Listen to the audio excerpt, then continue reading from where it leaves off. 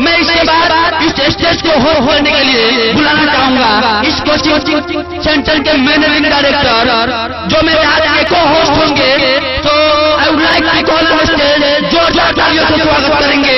हमारे को host mister मैं सर के बारे में बताना चाहूँगा। ये ऐसे शख्सियत जिनके बारे में आज इनका नाम भी ऑलरेडी एक पहचान बन चुका है। जिनके बारे में मुझे ज़्यादा कुछ बताने की ज़रूरत नहीं है। डायनेमिक पहचान लोग नहीं जानते हैं।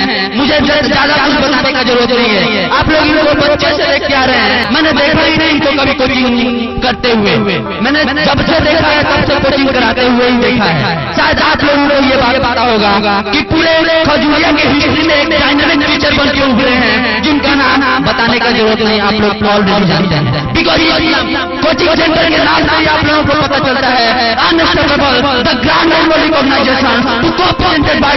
education centre जिस कोचिंग सेंटर के managing director mister Parvez Alam तो एक बार मैं चाहूँगा सर के लिए इस कोचिंग सेंटर के जितने भी स्टूडेंट हैं, एक बार स्टैंडिंग ओवेशन के साथ। खड़े होकर जोरदार तालियों से स्वागत करेंगे हमारे मिस्टर परवेज आलम सर के लिए। तो मैं चाहूँगा सर से आप आप just couple of just couple of five minute. आप आप इस सभा को संबोधित करें। बिकॉज़ अभी मैं स्टेज को छोड़ने जाऊँगा छोड़ के जाऊँगा। मुझे तैयार रहना है बिकॉज़ मुझे इस स्टेज पर परफॉर्म भी करना है। तो मैं सर को माइक देता हूँ। Sir grand Indian recognition co-presented by the Golden Coaching Center. बसीरा खलूस मोहब्बत को सलाम करते हैं। इबादतों की तरह मैं ये काम करता हूँ। मेरा उसूल है कि पहले सलाम करता हूँ। अरे मुखालफत से मेरी शख्सियत की होती है। मैं दुश्मनों का बड़ा एहतराम करता हूँ, मैं दुश्मनों का बड़ा इस्तेकबाल करता हूँ। पढ़ता हूँ मैं, सदा पढ़ाने का काम करता हूँ। हर अहले फजल का एहतराम करता हूँ अरे उसको खलीफा बनाकर जिसने छुआ है आसमानों को पूरी चंपारण में झूठ मचाने वाले खजरिया खजरिया में आए हुए लोगों को मैं आदाब सलाम और नमस्कार करता हूँ नमस्कार करता हूँ दोस्तों आज मुझे मात्र मेरे निजामत साहब यानी सैफ अली बाबू की तरफ़ से मात्र दस मिनट का ही समय मिला है और मैं आपको बता दूँ कि सैफ अली, खास करके उनके बारे में मैं दो लाइन बोलना चाहता हूँ कि अगर सैफ अली नहीं होता तो ये स्टेज नहीं होता। और सैफ अली का इतना देन है आज इस कोचिंग को आप लोग यहाँ से देख रहे हैं, लेकिन फेसबुक ट्विटर व्हाट्सएप गूगल या जहाँ से भी जान कीजिए, इसका वीडियो आपको मिलेगा। और ये का प्रचार एडवर्टाइज और इस प्रोग्राम को पूरे ही ऑल ओवर द वर्ल्ड में लोग देख रहे हैं। सिर्फ़ यहाँ पे नहीं देख रहे हैं। और ऐसा लगता है तो हर किसी के पास होता है पर दिल वाले नहीं होते। अरे देशभक्त तो मैंने बहुत देखा लेकिन साहेब भाई जैसा देशभक्त पहली बार देखा जो इस प्रोग्राम के लिए दो महीना पहले से पागल होकर छब्बीस जनवरी के स्टेज पर सोते आ रहा है। हर वक्त छब्बीस जनवरी। अरे खाते वक्त पीते वक्त हँसते वक्त खेलते वक्त जागते वक्त रोते वक्त हर वक्त। किसी ने सदी का है।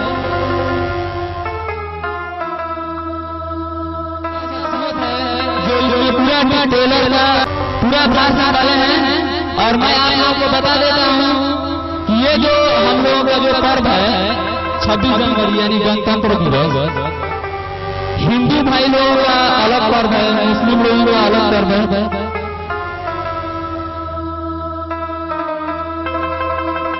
और इस तरह हमारे अतिथि लोग आते हुए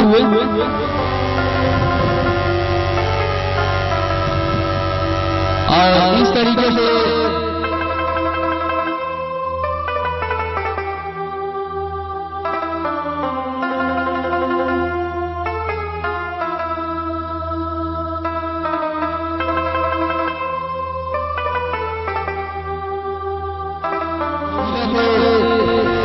राजा जो उप अध्यक्ष हैं और हमारे सर यानी जिला अल्पसंख्यक कल्याण विभाग के पदाधिकारी रवि शंकर सर यहाँ पे उपस्थित हो चुके हैं, जो पिछले बार भी आए थे। और इन लोगों के लिए मैं आप लोगों से जोरदार तालियों की चाह चाहता हूँ क्योंकि आप लोगों के दुआ से, आप लोगों के आशीर्वाद से, आप लोगों के प्रार्थना से आज ये मोदी इतना ऊपर मुकाम पे चला गया है।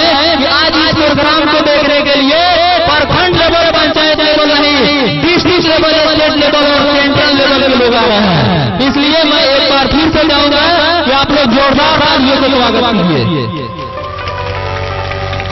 और दूसरी बात मैं ये बता रहा था कि हमारे हिंदी भाई लोगों का अलग पर्व होता है और मुस्लिम भाई लोगों का अलग पर्व होता है। लेकिन ये एक ऐसा पर्व है इसमें कोई general caste special caste forward backward नहीं है।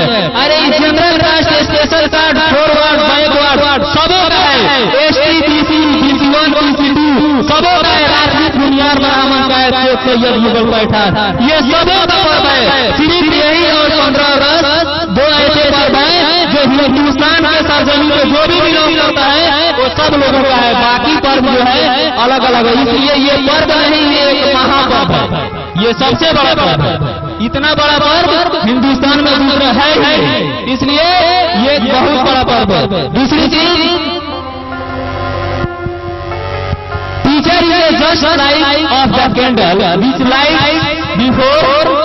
लाइट मतलब शिक्षक एक उस मोमबत्ती के सदृश है, जो स्वयं जलकर दूसरे को प्रकाश देता है। खुद जलकर दूसरे को प्रकाश देता है। और टीचर टीचर के अंदर तीन क्वालिटी होना चाहिए सबसे पहला good reading high thinking plain reading good reading यानी अच्छी पढ़ाई होनी चाहिए। आपके अंदर शुद्धिकरण होना चाहिए। अब ये नहीं कि हम राजमाता को सागर पाता रहे अब ये नहीं कि कोटवा को कटोरा लिख आपके लिखावट में शुद्धिकरण होना चाहिए।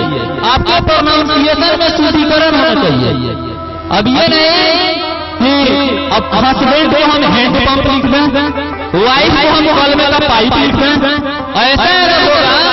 सही नहीं है। आप लोग खुद सोचिए, अगर मेरे अंदर शुद्धिकरण नहीं होगा तो आप लोग अपने बच्चे का लाइफ बिगाड़ने के लिए भेजिएगा।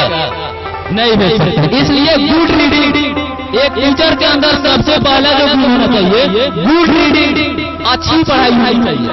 यानी टीचर के अंदर ये क्वालिटी होना चाहिए कि बच्चे के अंदर जो भी चीज़ है, यानी उसका रीडिंग पावर अंडरस्टैंडिंग पावर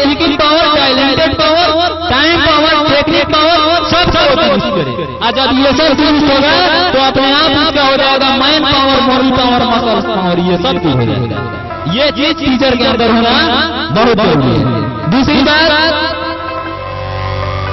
ऐसे मैं ये जो काम करता हूँ हर साल ये प्रोग्राम कराता हूँ तो इसका एक ही मकसद है इसका मकसद यही है मेरा, कि जितने भी छोटे बच्चे हैं या बड़े बच्चे हैं, हर बच्चे जो है स्टेज पे चढ़ कर दो लाइन बोले। क्योंकि आज इस स्टेज पे चढ़ कर दो लाइन बोलने के लिए बहुत ग्रेजुएट लोग मतलब बहुत मतलब पीएचडी लेवल के लोग भी हों, लेकिन कभी नहीं बोले हो तो दो लाइन नहीं बोल सकते। इसलिए मैं चाहता हूँ कि हर साल ये प्रोग्राम हो, और सांस्कृतिक कार्यक्रम एक ऐसा कार्यक्रम है कि अगर ये नहीं हो तो बहुत सारे लोग पागल हो जाएँगे। मान लीजिए बहुत सारे ऐसे भी लोग हैं जो अपने किसी किसी मतलब टेंशन से ग्रसित है उतना देर के लिए तो उनको वंचित मिला इसके वजह से बहुत सारी परेशानियाँ बढ़ सकती है। सांस्कृतिक कार्यक्रम हमारे समाज के लिए हकलाहट बौखलाहट चौधराहट है चमकाहट है। ये सब कुछ है। और मैं आपको ये बता दूँ कि ये हिंदुस्तान है। ये हिंदुस्तान हमारा फूलों का गुलदस्ता है। अगर हिंदू के हाथ में फूल है तो मुस्लिम इसके खुशबू है। ये हिंदुस्तान है। अगर हिंदू के हाथ में जूता है तो मुस्लिम के हाथ में कुरान है। अगर हिंदू के दिल में मतलब राम बसता है तो मुस्लिम के दिल में रहमान। इसलिए कहते हैं, मेरे दोस्तों, अभी नन्हा सा पौधा है, बड़ा होगा तो फल देगा। इस देश का बच्चा बच्चा भी हवा का रूप बदल देगा। इस देश का बच्चा बच्चा भी हवा का रूप बदल देगा। मैं मुस्लिम, ये हिंदू हम सब प्यार के प्यासे हैं। अरे मैं इसे आगे झमझम दूँगा तो मुझे गंगा जल देगा, गंगा जल देगा। मेरे मरने के बाद मेरे कोचिंग का नाम लिख देना। कफन के कोने कोने में हिंदुस्तान लिख देना।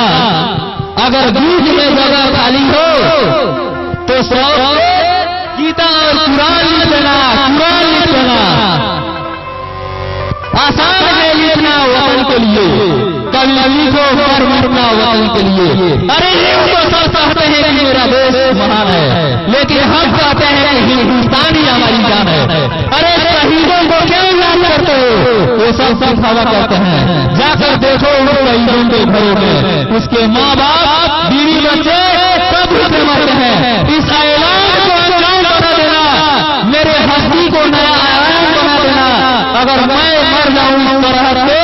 मेरे जनाजे को हिंदुस्तान पहुँचा देना। हिंदुस्तान पहुँचा देना। क्योंकि यहाँ पर राम बसता है, यहाँ पर रहमान बसता है, यहाँ पर हर काम, हर जात का इंसान बसता है। अरे हिंदू है तो क्या है। नहीं, यहाँ हर एक मुस्लिम दिल में हिंदुस्तान बसता है, हिंदुस्तान बसता है। अब मैं